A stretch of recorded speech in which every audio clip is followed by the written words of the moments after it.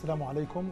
خلافات حادة وتتفاقم داخل مجلس الحرب الإسرائيلي طرفاها رئيس الوزراء بنيامين نتنياهو الذي أظهر نفسه بطلا وحيدا لما اعتبره إنجازا كبيرا بإفراج المقاومة في غزة عن عشرات المحتجزين لديها الأسبوع الماضي. ووزير الدفاع يوأف جالنت الغاضب من إقصائه عن صفقة الإفراج عن المحتجزين. خلاف انتهى قبل أيام برفض جالنت الظهور في مؤتمر صحفي مشترك مع نتنياهو. وفي موازاة ذلك شهد اجتماع وصف بالعاصف بين ممثلي الأسرى الإسرائيليين لدى المقاومة في غزة ومجلس الحرب الإسرائيلي شهد شتائم وصراخا واتهامات متبادلة بحسب ما نقلت وسائل إعلام عبرية.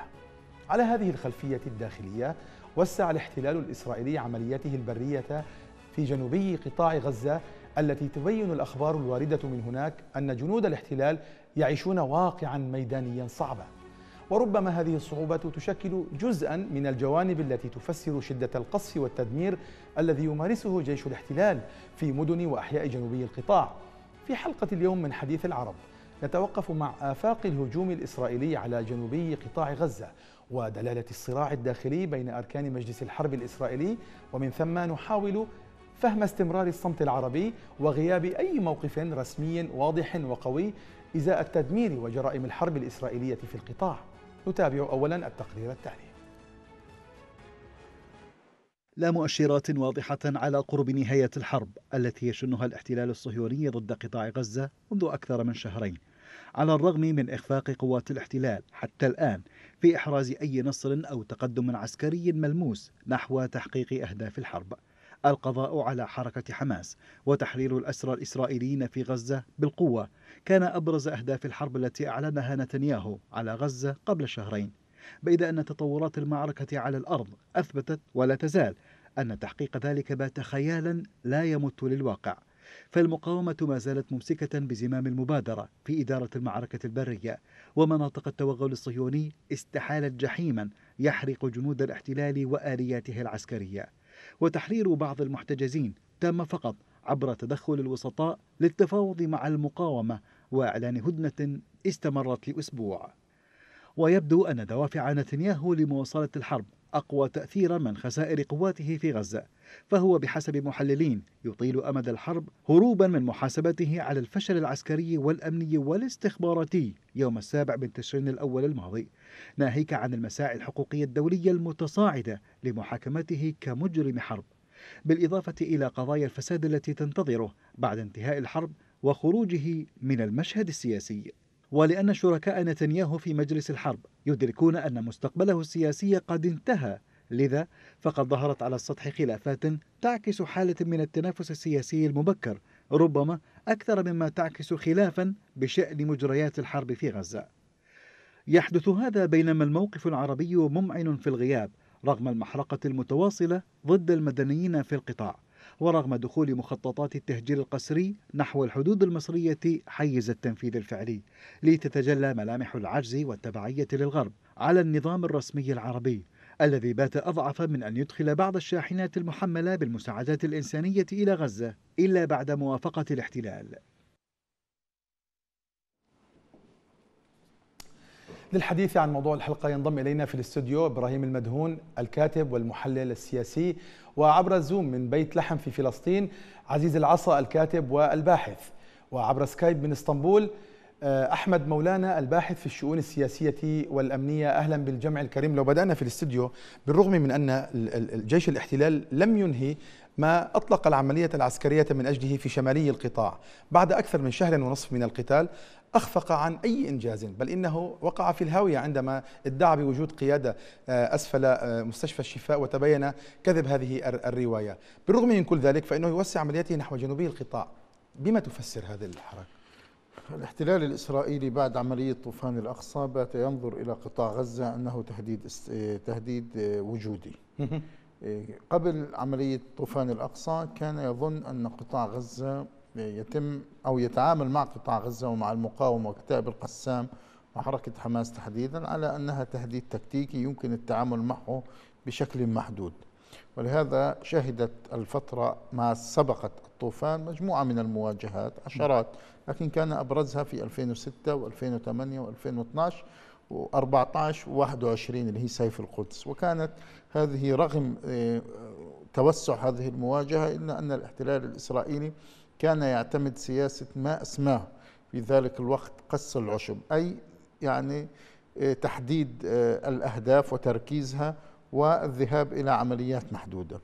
اليوم لا بعد عملية طوفان الأقصى أصبح هناك تحول في العقلية والاستراتيجية الإسرائيلية وهناك تخوفات عن وجود وبقاء وجود الاحتلال الإسرائيلي وكيانهم بعد عملية طوفان الأقصى وهناك خشية من تجديد هذه الهجمات وهذه العمليات لتشمل مدن الغلاف مع نزدود وعسقلان ومن ثم مدن المركز آه، أي تل أبيب. ولهذا أنا باعتقادي أن الاحتلال الإسرائيلي اليوم يدخل عملية شرحها نتنياهو بقوله نكون أو لا نكون. بمعنى أننا إذا أخفقنا في هذا العملية فإن آه، أن الكيان الإسرائيلي تحت تهديد الوجود.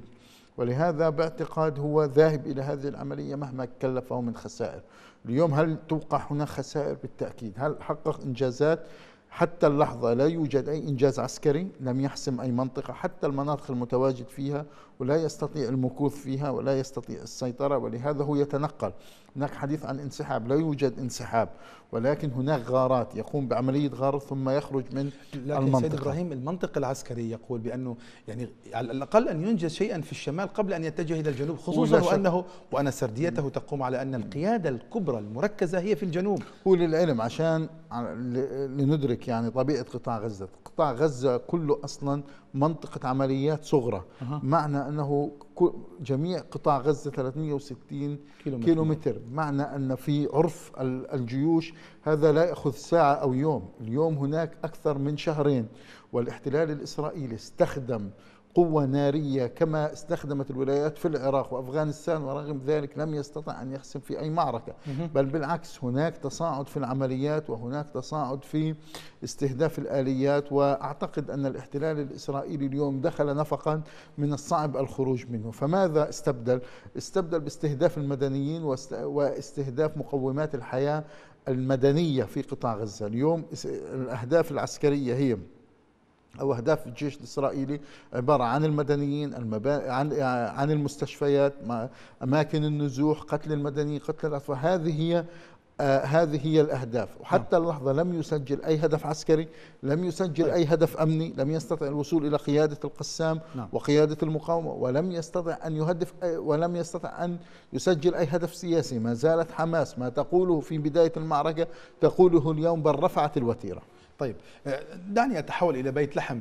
سيد عزيز هناك الآن تحذيرات أممية رسمية من أن نحو مليون لاجئ آه، فلسطيني في قطاع غزة قد يلجؤون إلى الحدود المصرية إذا ما استمر الهجوم الإسرائيلي على جنوبي آه، القطاع. برأيك كمراقب كمراقب لصيق ووثيق لهذا الأمر ما مدى ما ما فرص تحقق هذا السيناريو وهو لجوء الفلسطينيين إلى إلى مصر أو إلى الحدود المصرية؟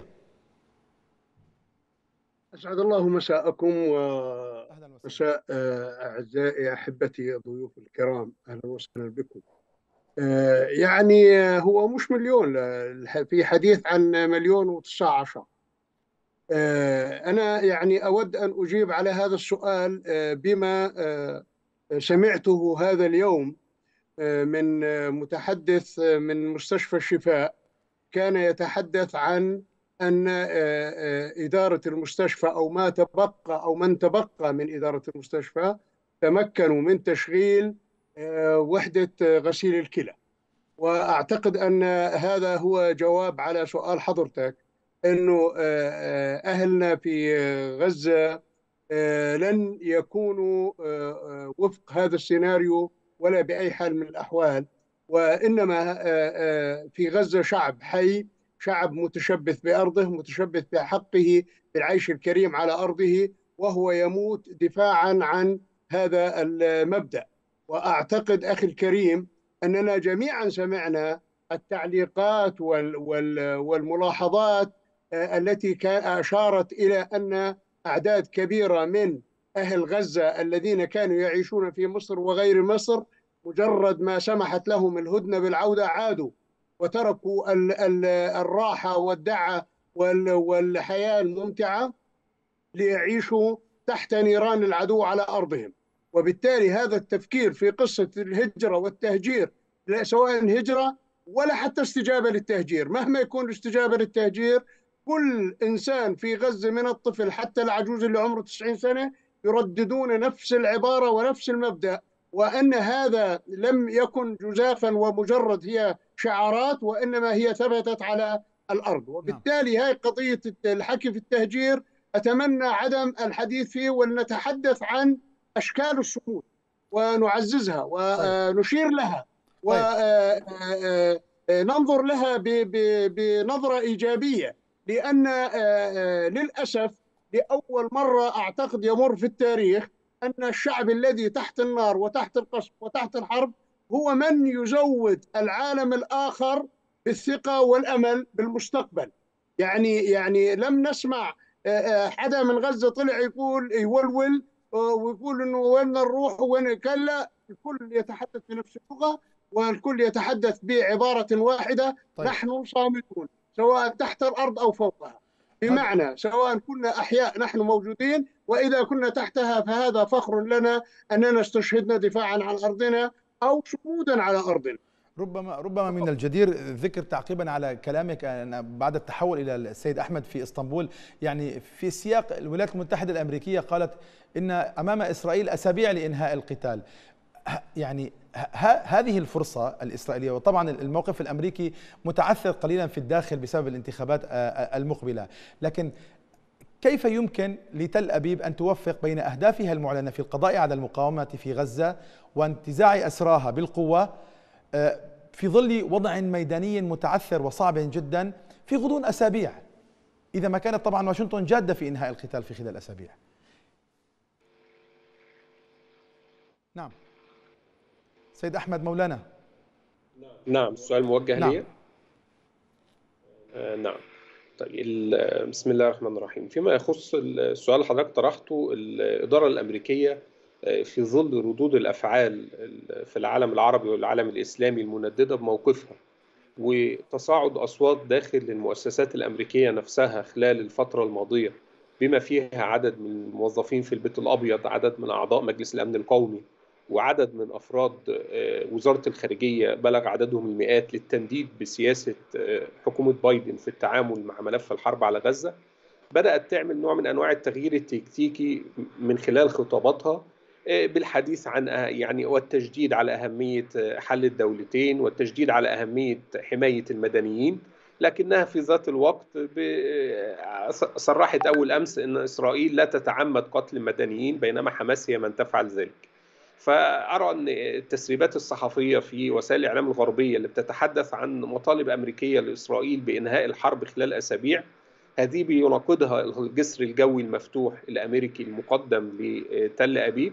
وبيناقضها الدعم السياسي والغطاء السياسي المعلن أيضا الذي تقدمه قد يقول لك متابع سيد أحمد قد يقول لك متابع بأنه هذا الجسر الجوي ما هو إلا لكي تنهي إسرائيل المهمه في غضون أسابيع حتى تتفرغ الإدارة لاستحقاقات الانتخابات الداخلية. نعم نعم. ولكن ولكن ولكن ولكن يمكن استخدام هذا كأداة حقيقية للضغط. وحتى الآن هذه الأمور عن إعطاء أسابيع حتى التسريبات الصحفية في بعض وسائل الإعلام الأمريكية قالت أن إسرائيل لم تعطي التزاما لواشنطن بإنهاء المعركة خلال أسابيع. فأرى إن المصادر الأمريكية والجهات الأمريكية بتطلق مثل هذه الأمور كمحاولة لتجميل وجه الإدارة الأمريكية وامتصاص حالة الغضب في العالم العربي والعالم الإسلامي وحتى داخل بنية الإدارة الأمريكية نفسها. في حين إن على أرض الواقع بايدن متورط في المجازر الموجودة ويعطي ضوء أخضر. طيب هل هم الأمريكان يريدوا يعني حرب مفتوحة. بالتأكيد لا هم مصلحتهم انتهاء الأمر بأسرع ما يمكن تجنبا لاتساع نطاق الحرب في المنطقة وتجنب لمزيد من الضغوط سواء داخل أمريكا أو من في العالم العربي والإسلامي أو تضرر المصالح الأمريكية هنا أو هناك. ولكن يعني هذا تحت سقف أو تحت إطار ضمان تحقيق إسرائيل إسرائيل لأهدافها ودعم لكن لكن حكومة نتنياهو الحالية العملية سيد أحمد برأيك من الناحية العملية في ظل رأي عام دوليا يتصاعد غضبا هل يمكن لإسرائيل من الناحية العملية أن تستمر في هذا القتل الوحشي لأكثر من أسابيع؟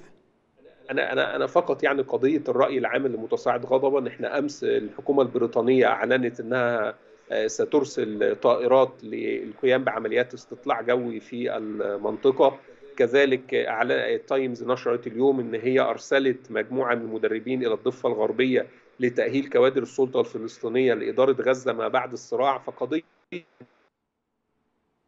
نعم.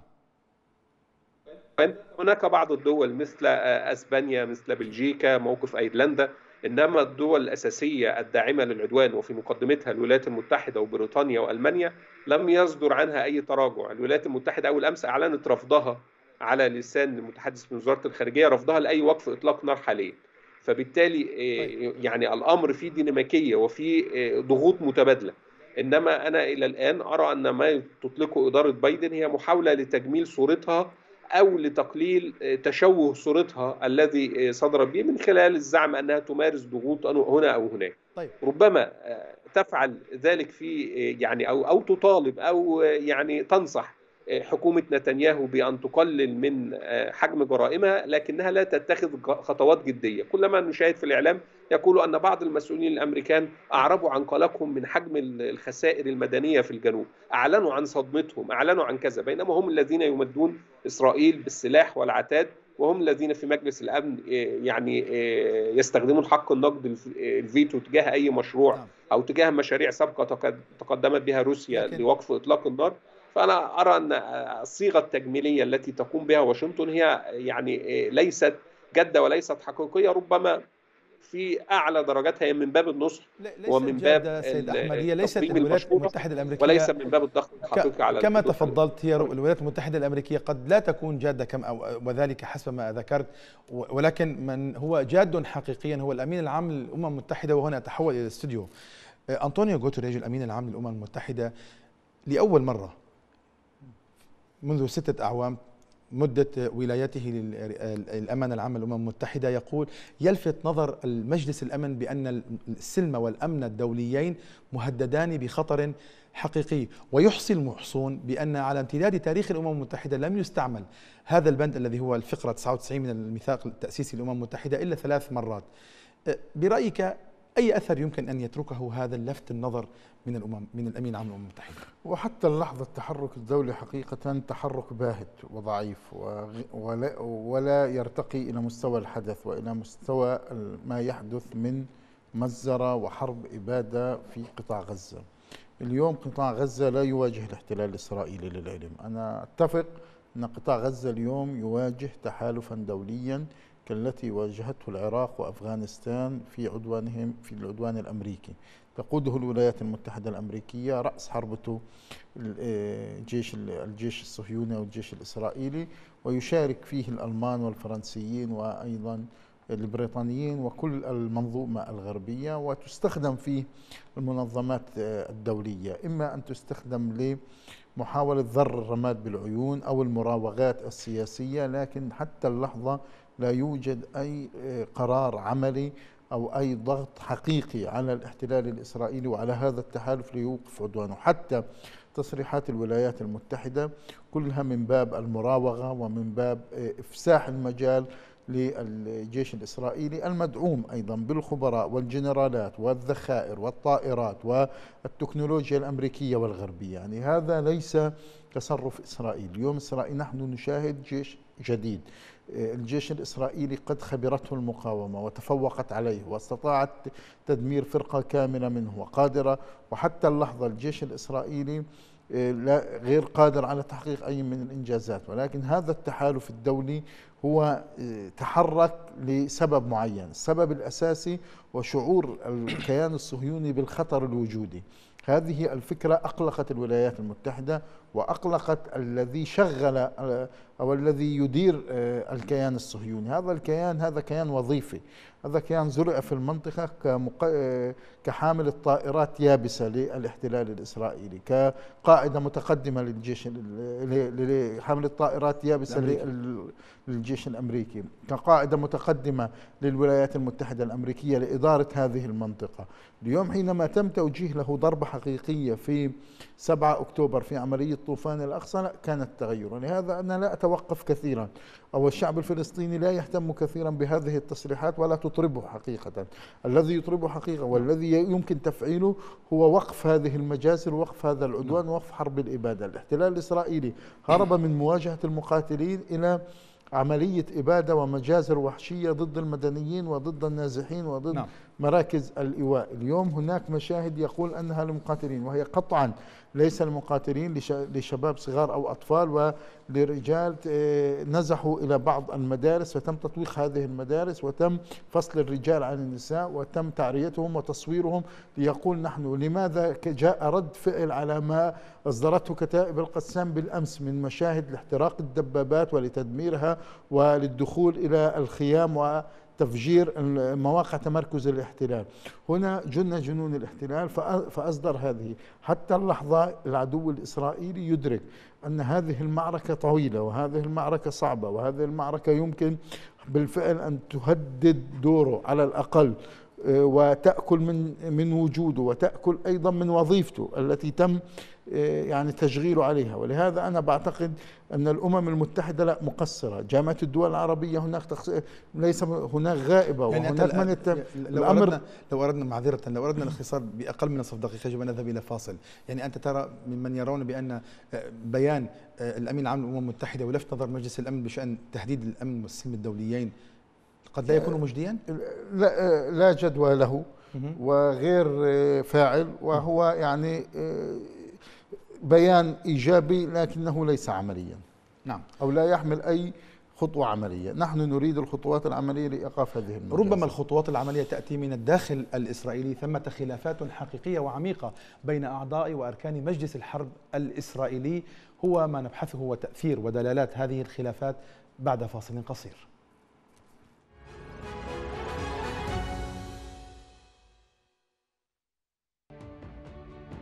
بلا جدران تقيهم حر الصيف وبرد الشتاء. أخرجوا من ديارهم غائبون لا صوت لهم.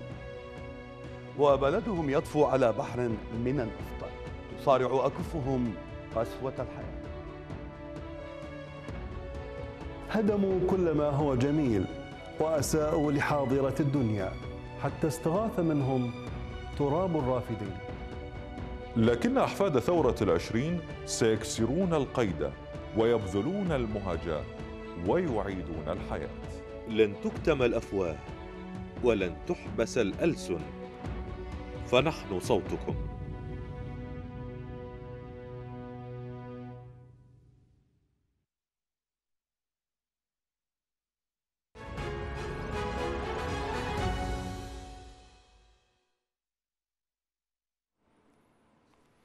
حياكم الله. ما زلنا معا في محاولة لقراءة أفق توسيع الاحتلال الإسرائيلي عمليته البرية باتجاه جنوبي قطاع غزة. آه، سيد عزيز في بيت لحم قبل أيام رفض وزير الدفاع آه، آه، الإسرائيلي الظهور في مؤتمر صحفي مشترك مع رئيس الوزراء بنيامين نتنياهو في مؤشر لعمق الاختلاف فيما بينهما. أريد أن أسألك كمراقب على ما يختلف الرجلان جوهر الخلاف بينهما. يعني آه، الخلاف بينهما سياسي وليس عقائدي يا أستاذ. وللعلم يعني هذه ظاهرة أنا شخصيا كمراقب للأحداث آه، وكإنسان فلسطيني آه، أعيش مع هذا الاحتلال منذ فتحنا عيوننا ونحن نراه أمامنا. أرى بأن آه، آه، ما يجري في قيادة الاحتلال من حالة ارتباك ومن حالة تشرذم آه، يجب ألا تفرحنا كثيرا.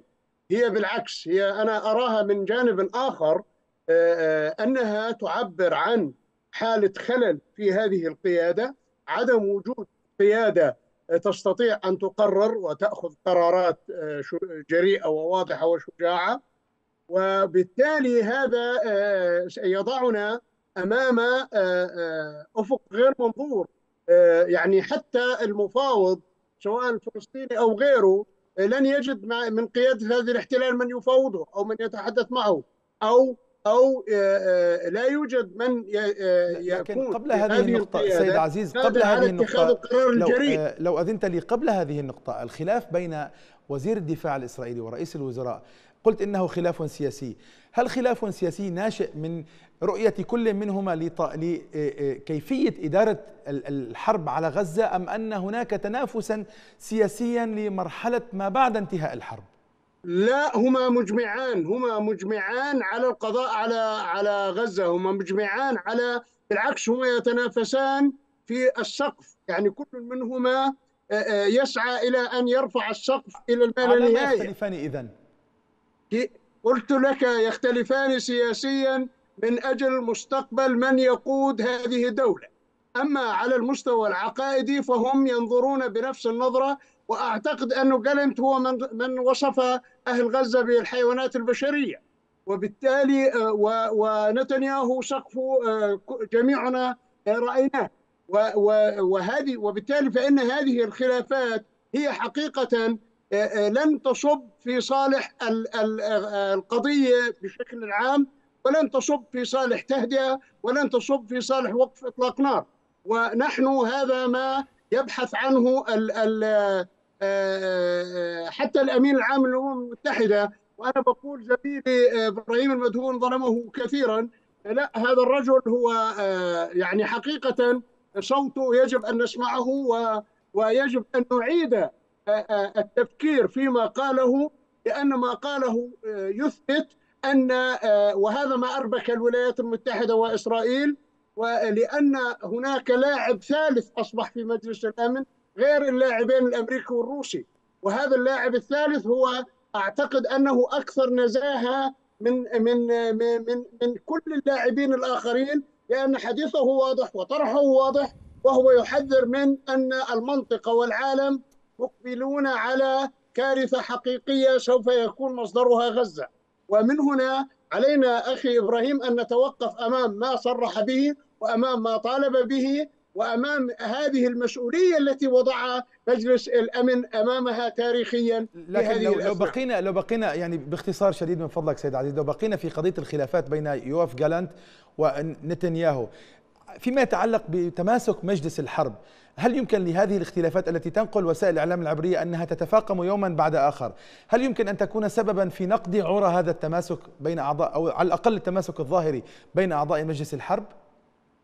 جيد فليكن حتى لو حتى لو انفرطت القيادة حتى لو انفرطت أنا بدي أفترض الآن أه. إنه انفرطت هذه قيادة الاحتلال. نعم. السؤال الأهم يا أستاذ من الذي يكبس على الزر؟ من الذي يتحكم بالبندقية؟ من الذي الآن يقتل أبناء غزة؟ من الذي يخسفهم هل هو نتنياهو أم هناك قيادة عسكرية تقوم بتنفيذ مهمات؟ يعني حتى لا نحن نضلل أنفسنا كثيرا يجب أن نقتنع بأن هناك بأن هناك قرار على مستوى الدولة بغض النظر عن اسم من من قرر أن هناك قرار استراتيجي بسحق غزة ومحوها. وبالتالي هذا ما علينا أن نلتفت له وألا ننتظر كثيرا أن يختلف جالنت مع نتنياهو أو يتصالحا. فيما يتعلق بسحق هذه مشكلتنا نعم فيما يتعلق بسحق غزة ومحوها هناك آراء إسرائيلية متصاعدة في الصحافة العبرية بأن هذا صار ضربا من الماضي وخيانة بالنسبة للقيادة الإسرائيلية. دعني أتحول أنا قلت عن قرار. أنا لم أقل عن عن عن نعم. تنفيذ فعلي. أنا نعم قلت نعم. ما هو واضح. هم قرروا هم يسعون واضح. هم يحلمون. حتى تصل الرسالة متوازنة فقط للمشاهد. سيد أحمد أذهب إليك. برأيك أي تأثير لهذا التفاقم الصراع بين الرجلين على بنية مجلس الحرب؟ وربما نختلف مع السيد عزيز قليلا بأنه حتى لو انسحب جالنت وبيني جانس الغاضبين من نتنياهو على خلفية استفراده بإنجاز بين قوسين إنجاز الإفراج عن المحتجزين لدى المقاومة الفلسطينية في غزة حتى لو انفرد نتنياهو فإنه سيعرى من أي حليف وظهير داخلي في معركته الوجودية كما يقول السيد إبراهيم في الاستوديو على المقاومة في غزة أي تأثير لهذا الخلاف على تماسك بنية مجلس الحرب في رأيك؟ يعني أنا هعود بالذاكرة قليلا يعني من بضعة شهور كان نتنياهو أخذ قرار بإقالة جالنت على خلفية موقفه من التشريعات القضائية وجالنت هو جزء من التحالف مع الذي يحكم مع نتنياهو في حين إن جانتس هو القادم من صفوف المعارضة. نتنياهو اليوم 74 سنة مواليد 1949 يدرك إنه إذا خرج من الحكم حاليا في ظل الوضع الحالي هذا سيمثل نهاية لمسيرته السياسية لذلك هو بيحاول أن يشاغب وأن يؤمن نفسه وأن يحقق نوع من أنواع الانتصار يضعف بها صورة الهزيمة التي حدثت في 7 أكتوبر.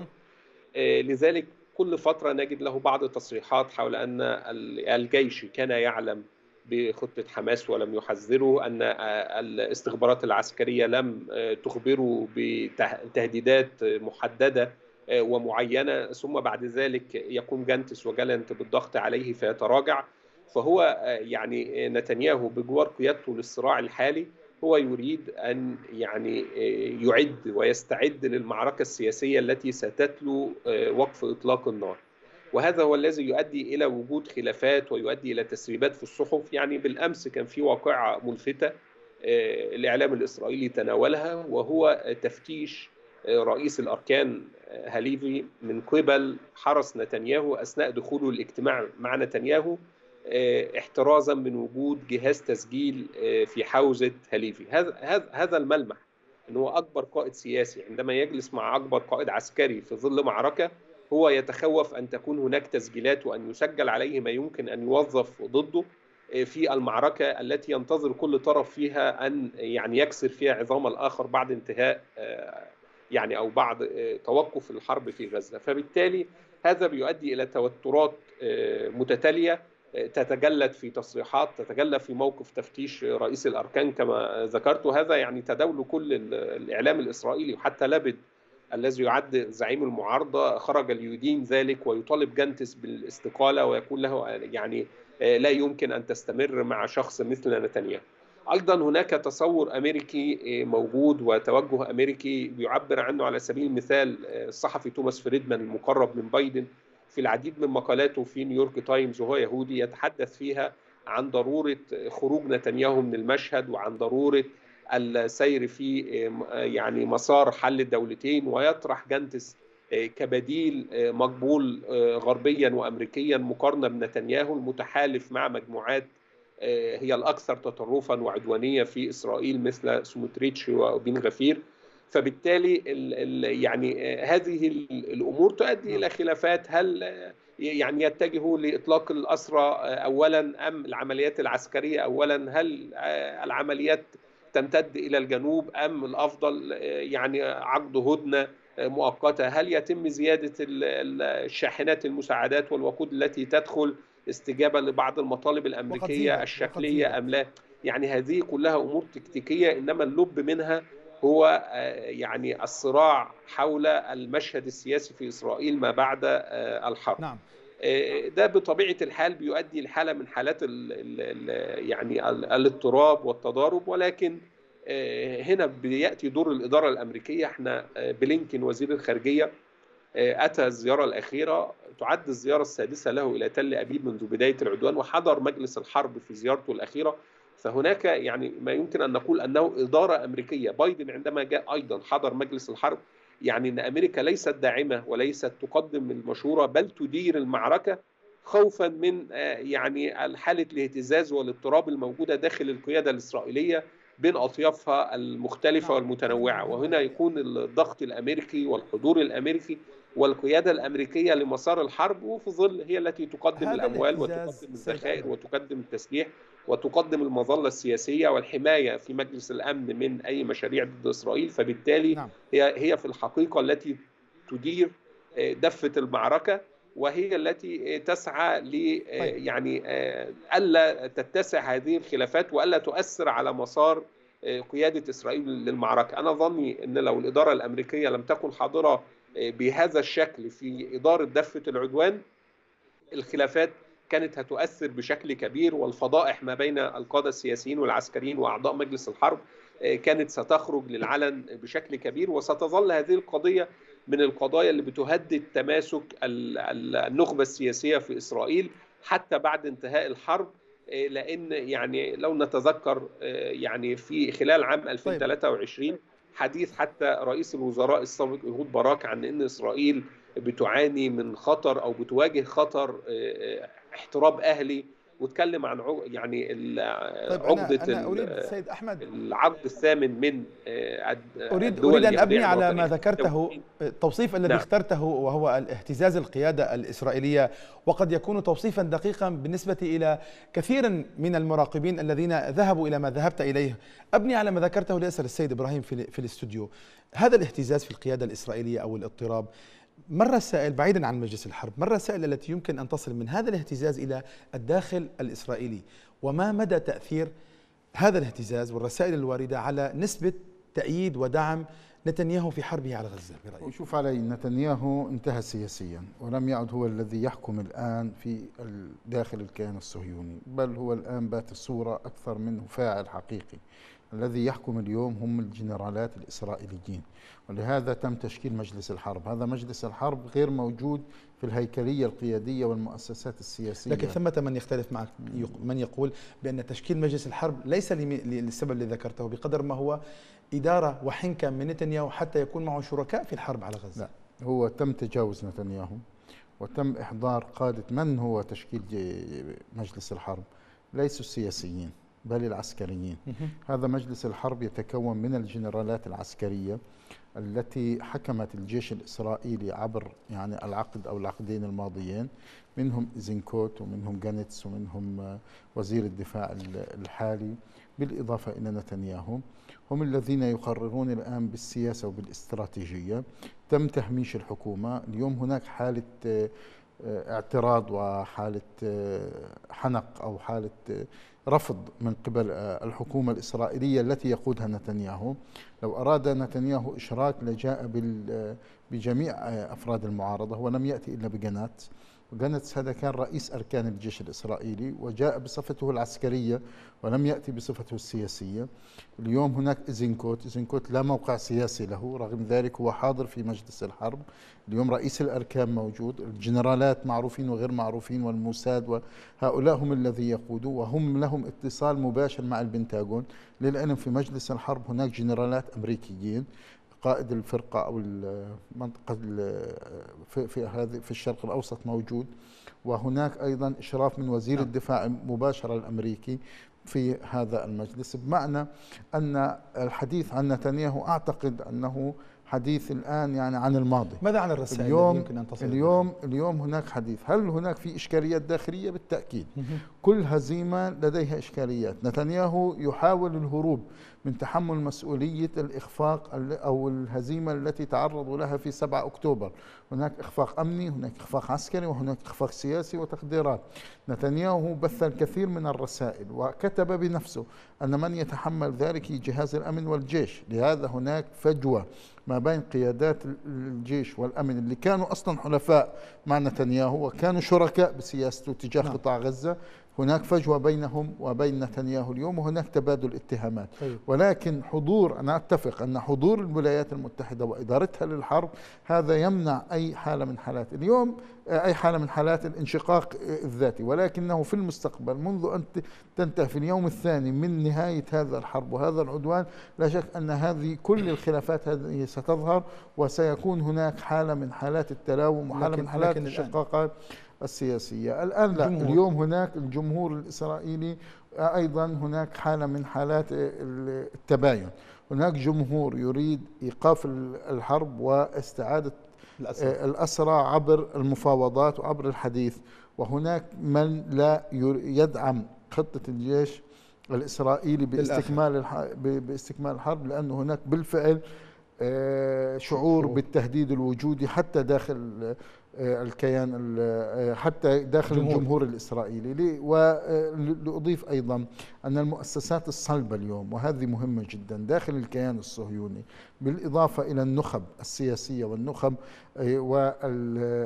والأقدمية أو النخب القديمة في داخل الجيش الإسرائيلي أصحاب التجارب الكبيرة لا هم مع هذه الحرب ومتجندين آه، خلفها وهم يدركون أنها من أخطر الحروب التي يعني يخوضها الاحتلال الإسرائيلي منذ ال 48 نعم.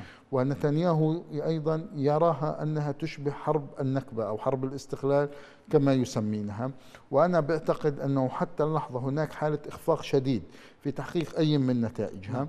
ولهذا هناك إصرار على الاستكمال لأنه لدى الاحتلال الإسرائيلي ولدى لديهم عبر تقدير موقف ولدى تقدير الموقف الأمريكي أنه في حال لم ينجز الاحتلال أو لم يحقق الاحتلال الإسرائيلي أهدافه في هذه الحرب بإزاحة حماس وبالقضاء على المقاومة الفلسطينية فهذه قد تغري الشعوب العربية نعم. وقوى المنطقة أن إيه، تواجه الاحتلال الإسرائيلي وستضرب مشروع الاحتلال الإسرائيلي والعملية التطبيع التي كانت يعني نعم. قاب قوسين أو أدنى أن تعم المنطقة في مقتل في هذا السياق نفسه فيما يتعلق في, في شعوب المنطقة وقوى نعم. المنطقة أذهب إلى بيت لحم سيد عزيز يعني برأيك لماذا يتواصل غياب أي موقف عربي رسمي واضح وقوي وجدي مما يحصل آه، لغزة وكأن من النظام الرسمي العربي كما لو أنه يتلقى أخباره من كوكب آخر يعيش في كوكب آخر باستثناء بيانات استنكار متناثرة هنا أو هناك لا يوجد أي موقف جدي وحقيقي ما تفسير ذلك؟ يعني إذا إذا بدي آه، أجاوب جواب سطحي ممكن أقول والله الأسبوع الهدنة آه، ممكن ممكن هذا يكون آه، آه، ضرب النفس الثوري اللي كان ممكن يكون عند يعني المحيط العربي ولكن ما أود أن أن أقوله بأن السيادة المطلقة في المنطقة وفي يعني في المنطقة خلينا نقول ما بدناش نتحدث عن أبعد من ذلك هي للولايات المتحدة وحليفتها الاستراتيجي والرئيس بريطانيا وثم تأتي فرنسا وألمانيا وإلى آخره من الدول الأوروبية. وأعتقد أن آه، القرار هو أمريكي بالدرجة الأولى القرار أمريكي بالدرجة الأولى أنه أوعز للجيش الإسرائيلي آه، على فرض طبعا أن أن المقاتل على أرض غزة هو فعلا الجيش الإسرائيلي وحده أوعز له بأن يحقق الأهداف التي هم يعلنون عنها آه، آه، والتي بالفعل آه، الإعلان عنها بهذه الطريقة يعني صعود شجرة عالية جدا فعلا الهبوط عنها سيكون صعبا عليهم للغاية لماذا؟ لأن الحقيقة القادمة والتي ستصدمهم والتي ستجبرهم على النزول عن الشجرة هي أن الشعب الفلسطيني سيبقى موجود المقاومه في آه، في آه، آه، غزة لن تنمحي ولن ولن تزول ولن تزال لأنها ليست صنيعة أحد وليست باراشوت اسقط على غزه على فلسطين وعلى غزة من أحد. هي متأصلة من ذات الشعب الفلسطيني. نعم. وبالتالي من يدعي إمكانية القضاء على المقاومة عليه أن يكمل والقضاء على الشعب الفلسطيني. والقضاء على الشعب الفلسطيني أمر مستحيل. هذا الشعب موجود. لهم 75 سنة بقصقصوا في اجنحته وفي ريشه وفي كل في عظامه. بيسحقوا فيه وبيطحنوا فيه. الشعب الفلسطيني موجود. عدد وعدده 14 مليون. وموجود. ومنه العلماء ومنه المفكرين ومنه القادة ومنه العباقرة. وبالتالي هذا كل ما يجري في المنطقة آه، للأسف هو كما قلت لك قرار أمريكي. يبدو أن هناك نوع من ال ال طيب. خلينا نقول التوافق معه وبالتالي آه آه آه طيب. يعني سمعناها بأكثر من مناسبة حتى بأنه لا لا ينزعج لا يعني لا يوجد هناك انزعاج من القضاء على المقاومه طيب حتى حتى لا حتى لا يدرك أعتقد أن الشعب الفلسطيني موجود والمقاومة ستستمر طيب حتى لا يدركنا الوقت سيد, سيد عزيز وصلت الفكرة. بقي القليل من الوقت. أتحول إلى إسطنبول لو اذنت لي. سيد أحمد هل الإرادة الأمريكية التي تحدث عنها عزيز من بيت لحم؟ هي ما يحول دون وجود موقف عربي آه، آه، رسمي موحد تجاه هذا الصلف الإسرائيلي في غزة أم ثمة أسباب أخرى في رأيك؟ يعني هو أحد الأسباب وسبب رئيسي ولكن في أسباب يعني آه، إضافية. على سبيل المثال دينيس روس المبعوث الأمريكي السابق لملف السلام كان نشر مقال في نيويورك تايمز وذكر فيه إن هو عندما تواصل مع المسؤولين العرب الذين يعرفهم كلهم دون يعني استثناء يعني شجعوا إن من الواجب ومن الضروري أن تقضي إسرائيل على حماس وعلى وجودها في غزة. كذلك كان في تقرير لمعهد دراسات الأمن القومي الإسرائيلي مؤخرا وذكر فيه إن كافة دول الخليج باستثناء قطر يعني ترحب بالقضاء على المقاومة في يعني في غزة. فبالتالي يعني هذا توصيف أمريكي وإسرائيلي ليس توصيف مني. فبالتالي يعني هناك مصلحة للعديد من الأنظمة العربية الرسمية والدول العربية في القضاء على حماس باعتبار أن هناك مسار للتطبيع اختارته هذه الأنظمة. هذا بيقوم على إقصاء أي طرف مقاوم يتحدث عن المقاومة أو يسعى ليها باعتباره يشوش على المشروع الذي يتبنون هذه الحقيقة. وبالتالي نجد في العديد من الدول عمليات قبض واعتقال وتوقيف للمتظاهرين أو المعتصمين أو من يتفاعلوا مع القضية الفلسطينية. فضلا عن يعني دور للأسف مصري في عدم فتح معبر غزة سوى معبر رفح. وحصار غزة سوى ما توافق عليه إسرائيل من يعني من مساعدات وشاحنات إلى حتى الجرحى يعني في عهد مبارك كان عندما في جولات الصراع الأقل من ذلك كان بيدخل الجرحى للعلاج في مصر دون استثناء اليوم. إحنا بنشاهد يعني ما يفوق 40 ألف جريح العديد منهم يحتاج لعمليات عاجلة لحفظ أطرافه لحفظ حواسه لحفظ حياته. وفي شح في ظل شح الدواء ومصر يعني لم يدخل سوى قرابة 400 شخص. أغلبهم يعني انتقلوا إلى دول أخرى وهذا من وافقت عليهم إسرائيل. فبالتالي يعني هذا هذا الدور وهذا الانخراط في عملية الحصار وعدم ممارسة أي ضغط حقيقي هو نتاج يعني عملية التطبيع اللي, اللي رأيناها بداية من كامب ديفيد إلى اتفاقيات إبراهيم إلى بأنه, بأنه ترجمة لاستراتيجية أمريكية في في المنطقة وأرجو نعم المعذرة. مصالح هذه الأنظمة وبقائها نعم. مع الولايات المتحدة أرجو, أرجو المعذرة. يعني ال ال الوقت ضاق كثيرا. بقي لي دقيقة أخصصها لك أستاذ إبراهيم. أنت لاحظت من كلامك في الأخير بأنك تعول شيئا شيئا من الأمل على أنه أن هناك المنطقة العربية سواء كانت على مستوى النظام الرسمي أو حتى على مستوى الشعوب بأنها يعني تحت ضغط المشاهد وتحت ضغط التأثير في الداخل العربي قد تتحرك قد تفعل شيئا. متى يحصل هذه المعركة ليست معركة الشعب الفلسطيني هذه معركة المنطقة كلها. هذا الاحتلال الإسرائيلي هو سرطان هذه المنطقة هو سبب كل المشاكل المشاكل التي في العراق والانقسامات المشاكل اللي بسوريا اللي بليبيا اللي باليمن هذه كلها سبب هذا الاحتلال. هذه قاعدة متقدمة من أجل نشر كل هذه متى يأتي هذا الحركة العربية؟ الآن أنا بعتقد اليوم أمام المنطقة العربية والشعوب العربية فرصة كبرى. من من التخلص من جميع إشكالياتها بالتخلص من الاحتلال الإسرائيلي. الاحتلال هذا احتلال ضعيف هش الولايات المتحدة في تراجع كبير. وأعتقد أن الاحتلال يدرك ذلك ولهذا هو أراد إثبات العكس.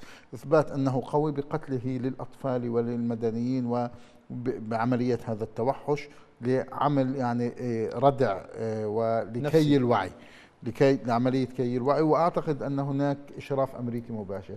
وأنا لا أراهن ما زلت أراهن ورهاني حيكون حقيقي أنه سيكون في هذه المعركة تغيير عربي كيف ومتى وأين. أنا لا أدرك ولكن هذا الغليان لا شك أنه سينتج عنه شيء يغير المعادلة. وأعتقد أن الاحتلال الإسرائيلي لن يستطيع أن ينتصر في هذه المعركة. أشكرك شكرا جزيلا. على الالتزام مرة ثانية في الوقت. مشاهدينا الكرام ختاما أشكر ضيوفي الكرام في الاستوديو إبراهيم المدهون الكاتب والمحلل السياسي وعبر زوم من بيت لحم عزيز العصا الكاتب والباحث وشاركنا الحوار أيضا من إسطنبول عبر سكايب أحمد مولانا الباحث في الشؤون السياسية والأمنية. كل الشكر لحضراتكم على طيب المتابعة. في حراسة الله.